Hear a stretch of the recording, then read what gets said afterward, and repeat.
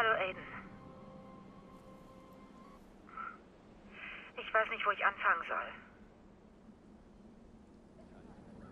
Als ich dich das erste Mal sah, spieltest du mit Jackson Schach im Park. Ihr beiden wart sehr traurig nach der Beerdigung. Ich konnte sehen, wie sicher er sich bei dir fühlte. In unserer Welt verstecken wir uns im Dunkel hinter Monitoren.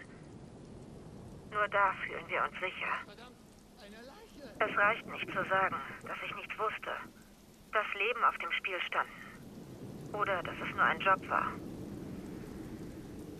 Ich dachte, wenn ich dir helfe zu heilen, Antworten zu finden, vielleicht würde ich mich auch heilen.